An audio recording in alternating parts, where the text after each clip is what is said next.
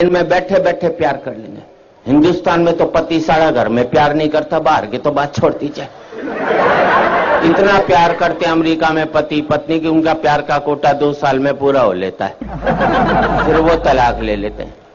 हिंदुस्तानी पति, पत्नी सुबह प्यार करेंगे, शाम को माथा फोड़ लेंगे। तो ज़िंदगी भर प्यार का कोटा पूरा ही नहीं हो पाता। इसलिए हमारे यहाँ कहते हैं, सात जन्मों तक साथ निभाएँगे। क्योंकि हम एक जन्म में प्यार का कोटा पूरा नहीं कर सकते।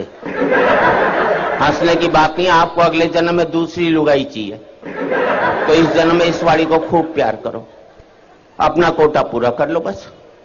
भगवान अगले जन्म में दूसरी दे देगा। और नहीं कोटा पूरा करेगा तो सत्तर जन्म तक यही मिलने वाली है। हंसने की बात नहीं है कल से जिस पत्नी को पति प्यार करने लग जाए तो समझ लेना साले के दिल में खोट है। वो चाहता ही नहीं कि अगले जन्म ये हो। मैंने तो टेक्निकल बात बता दी। अच्छा मैंने रिसर्च की कि इस देश में पति पत्नी से डरता क्यों? हमें जितनी भी ताकतें मिलती हैं, सब औरतों से मिलती हैं। पैसा चाहिए, लक्ष्मी जी के पास जाओ। बुद्धि चाहिए, सरस्वती जी के पास जाओ। ताकत चाहिए, दुर्गा जी के पास जाओ। आदमी के पास छोड़ा, क्या मेरे समझ में नहीं आया? हमारे शंकर, भगवान विष्णु, भगवान बिल्कुल खाली बैठे हैं। एक पावर नहीं दोनों के पास में।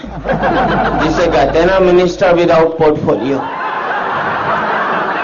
इसलिए एक जाकर बेचारा पहाड़ पर बैठ गया। और कपड़े भी कितने दिए पहनने को देखो इसे। गले में सांप और डाल दिया।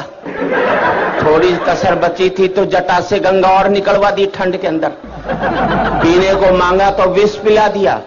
ऐसे में आदमी टांडव नहीं करेगा तो क्या बांसुरी बजाएगा भाई सीधी दूसरे को शेष शेषनाग पर लिटा दिया।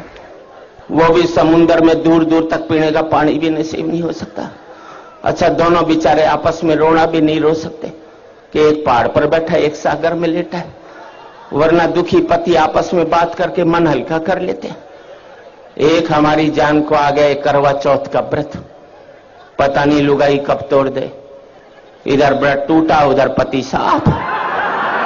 क्योंकि पति की ज़िंदगी के लिए रखा जाता है। इस देश में सौ व्रत ऐसे हैं कि पत्नी नहीं रखे तो पति की सेहत खराब हो सकती। एक व्रत सारा ऐसा नहीं बनाया, जो पति नहीं रखे तो लुगाई के जुखाम भी हो जाए तो हम तो बल्ला भी नहीं निकाल सकते।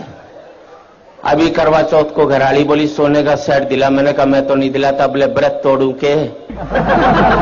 अंदर से रोटी ले आई, बोले, ला रहा है कि अभी खाऊं? मैंने, प्राण जाएँगे, ले आया। विदेशों में करवा चौथ के व्रत होते नहीं, इसलिए वहाँ तलाक हो जाते।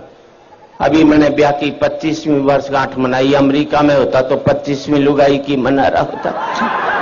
करवा चौथ नहीं होता ना वहाँ। हमारे यहाँ पति पत्नी तो रेल की पटरी की तरह मिलो मत, साथ ज़रूर चलना पड़ेगा। अलग इसलिए नहीं हो सकते कि बच्चे स्लीपर बनकर दोनों को जकड़े हुए हैं।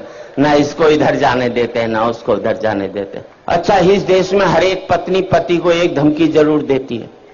मैं तो बच्चों की वजह से टिकी हुई हूँ, वरना कब की निकल जाती अब मैंने अपनी लुगाई से कहा, मैंने देख, सारे बच्चे ब्याली, अब तो निकल ले।